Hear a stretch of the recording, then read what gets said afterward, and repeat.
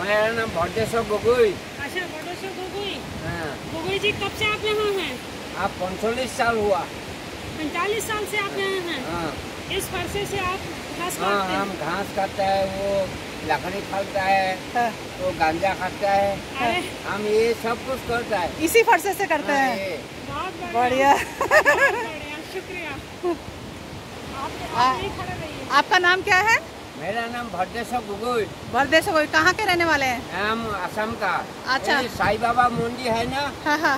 शिक्षा को जी जी। जी वही साई बाबा मंदिर में रहता है। हाँ। यहाँ में साल भर में आता है। अच्छा साई बाबा मंदिर में भी रहता है या परशुराम जी के यहाँ घास काटने आते हैं? हाँ।